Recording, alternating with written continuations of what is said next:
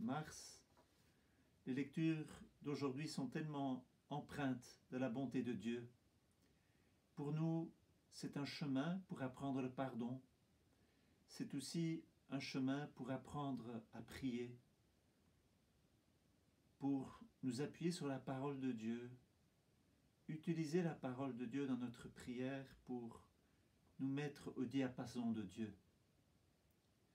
Je commence par vous lire deux, trois passages des lectures de ce jour, en particulier du livre de Daniel et du psaume, pour que nous puissions découvrir cette bonté de Dieu et que, en fait, c'est Dieu qui nous donne de découvrir que nous devons nous appuyer sur ce que lui il dit.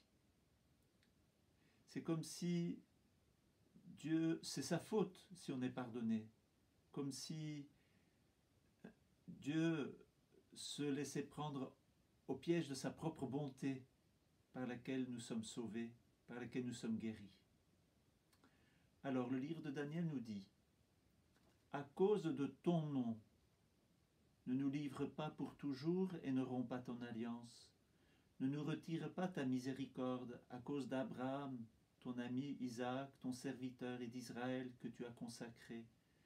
Tu as dit que tu rendrais leur descendance aussi nombreuse que les astres du ciel, que le sable au rivage des mers. Voyez Tu as dit que tu rendrais leur descendance aussi nombreuse.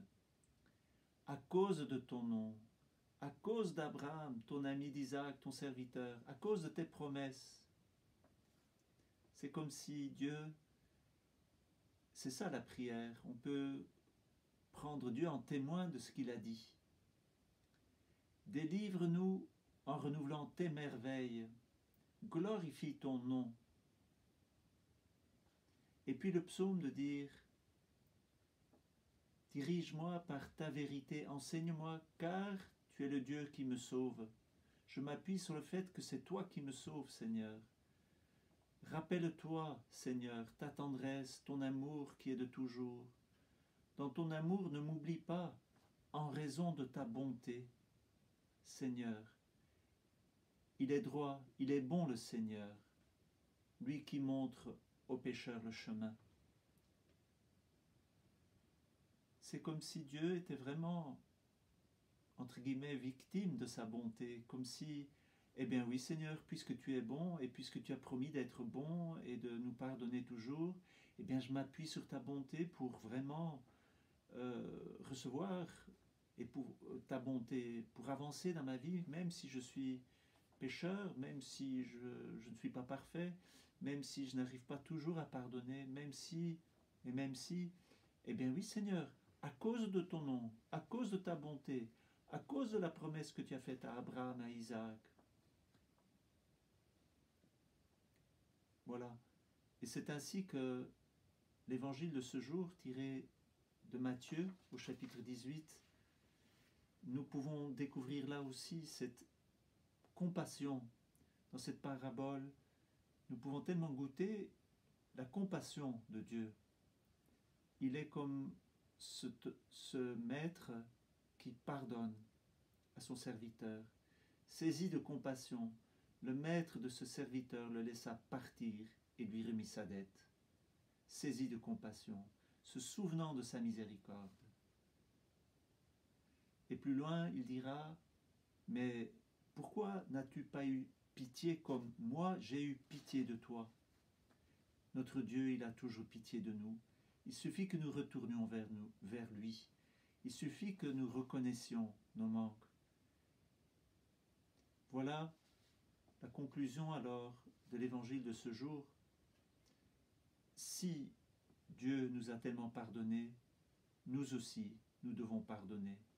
Et combien de fois? Eh bien, sept fois soixante-dix fois. Continuellement. Il nous faut toujours nous renouveler dans l'amour. Pourquoi?